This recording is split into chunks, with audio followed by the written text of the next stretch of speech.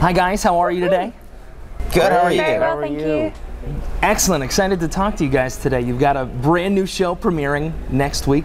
Uh, tell me about it. Uh, well, it's it's called The New Normal, uh, and it is uh, it's on NBC. It's a new half-hour comedy from from Ryan Murphy and Ali Adler. Uh, and the basic premise is uh, that Justin Bartha and I here play a uh, play a, a couple that is finds themselves at a time in their lives where they feel like they are ready to to start a family. So we we enlist the help of a surrogate played by Georgia King, who sort of brings her whole family into the process with her. So it's sort of about this the two sort of unlikely groups of people coming together to to create a family. I saw the pilot. It is absolutely hilarious. Uh, Georgia, I love your character. Oh, thank you. Uh, I love your character. Your dynamic with your grandmother, played by Ellen Barkin, is is absolutely amazing.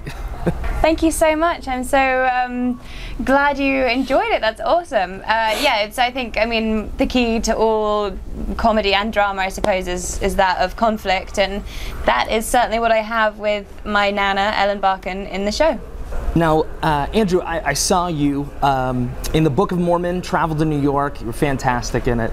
Um, what, Oh, thank you. what drew you to do this show? Uh, to make the switch to television now?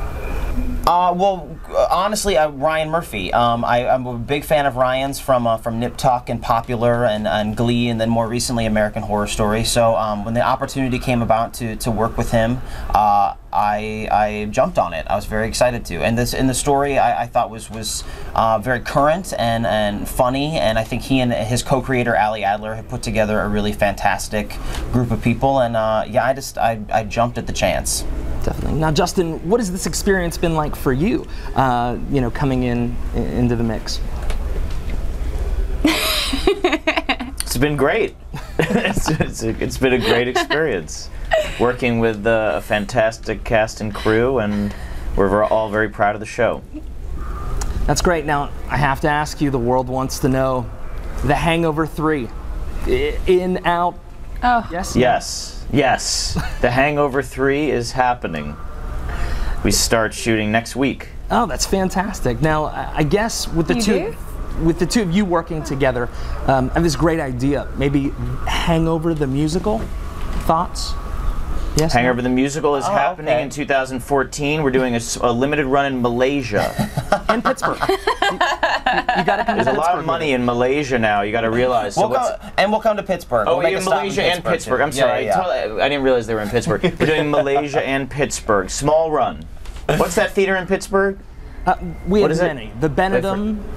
Right, it's that one. Yes. yeah, that's the one. And, and we're anxious for it. now, what would you guys say to your Yes. Pittsburgh audience uh, getting ready to watch here? hello.